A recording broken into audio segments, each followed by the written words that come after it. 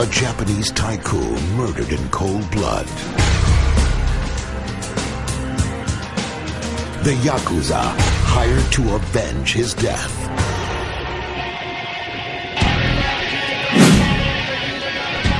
And one man determined to get the job done.